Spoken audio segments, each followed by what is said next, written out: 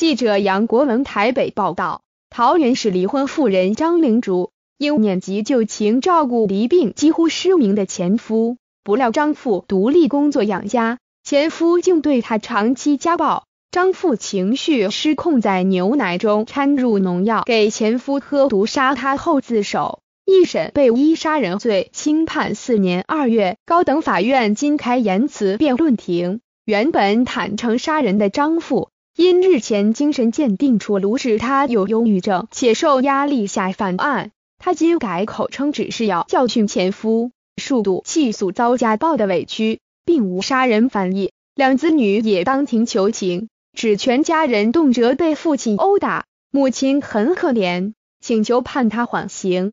定本月十六日上午十时宣判。高检署检察官庭末指出，依出庭的张灵珠儿子、女儿证词，可以认定张父杀夫是因长期家暴而铸下杀人大错，尚属情有可原。相关事证显示出，张父乃故意在牛奶中加入农药，那奶得给前夫。对他喝下后造成死亡结果应早有认知，他改口仅系教训前夫，并非事实，但同意法院在量刑上可酌情减刑。现年五十五岁的张灵珠与大他六岁的前夫黄瑞腾育有一对子女，都已成年结婚。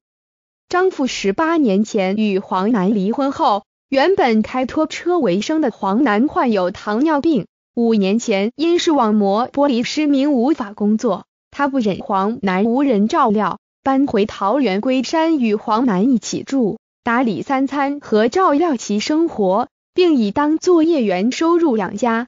但黄楠不感激他的付出，不仅常常乱摔东西，更会出手打他。他一再隐忍。二零一五年二月三日上午七时，张父帮黄楠做早餐，但黄楠不可以。竟将餐具、食物全摔在地上。张父忍无可忍，拿出很久以前买来毒狗的农药纳奶的药粉，加入牛奶中给黄楠喝。黄楠喝了一大口后，惊觉味道不对，大声斥责张父，随即口吐白沫，倒在椅子上挣扎。上午八时三十分，张父惊见黄楠已无动静，打一一向警自首，我杀了人。